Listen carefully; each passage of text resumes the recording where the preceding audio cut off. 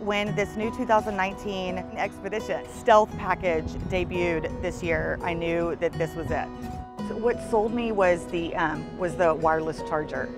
It's amazing.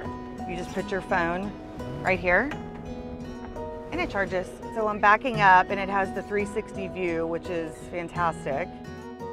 It's like magic. I'm not sure how it does that. When I was valeting yesterday, the valet driver even said, "Ooh, your car is so nice."